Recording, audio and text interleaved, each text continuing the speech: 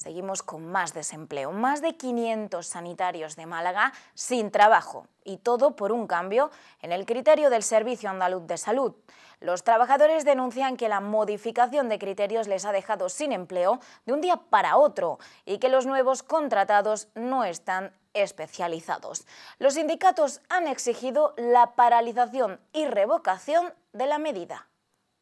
Más de 500 sanitarios de la provincia de Málaga de todas las categorías profesionales se han quedado sin trabajo de un día para otro, tras un cambio de criterio en la contratación del Servicio Andaluz de Salud. Entre el viernes y el sábado, Salud llamó a los profesionales para los contratos que debían comenzar el 1 de febrero, aunque según denuncian se han violado sus derechos laborales, además de hacer discriminación a unos frente a otros. Por este motivo, ayer por la mañana más de un centenar de profesionales se concentraron ante el pabellón de gobierno del complejo sanitario Carlos Saya para protestar por el cambio de criterio.